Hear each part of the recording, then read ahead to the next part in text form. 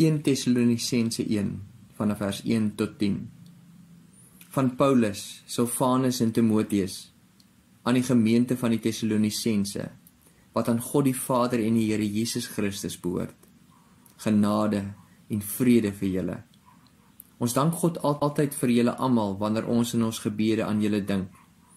Sonder ophou bring ons dan voor God ons Vader in herinnering die werk van julle geloof, die inspanning van julle liefde en die volharding van julle hoop op ons Here Jesus Christus.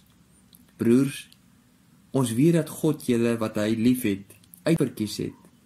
Want die evangelie wat ons aan julle verkondig het, het nie bloot met woorde tot julle gekom nie, maar ook met krag en deur die Heilige Gees en met volle oortuiging. Julle weet trouens hoe ons by julle opgetree het en dit om julle ontwil. En julle het ons voorbeeld gevolg en volgelinge van die Here geword. In baie moeilike omstandighede het julle die woord aangeneem met 'n blydskap wat van die Heilige Gees kom. So het julle 'n voorbeeld geword vir al die gelowiges in Macedonië en in Agaia.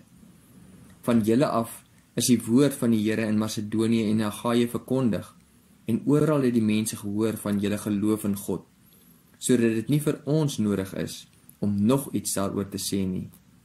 Die mense vertel self hoe julle ons ontvang het en hoe julle julle van die afgode tot God bekeer het en nou die lewende en ware God dien en dat julle sy seun wat hy uit die, uit die dood opgewek het uit die hemel verwag Jesus deur wie ons gered word van die oordeel wat kom